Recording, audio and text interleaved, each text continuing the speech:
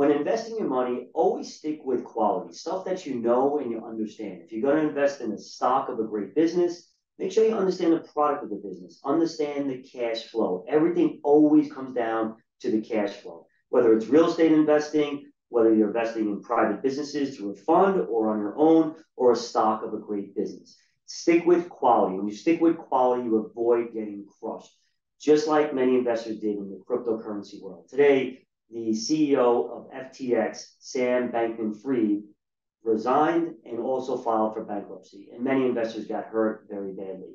And it's a situation of speculation. When you speculate, you're taking on big risks and it's not worth it. If you stick with quality and you invest over time and have that long term view, you'll have great success. And that's really, really important to investing.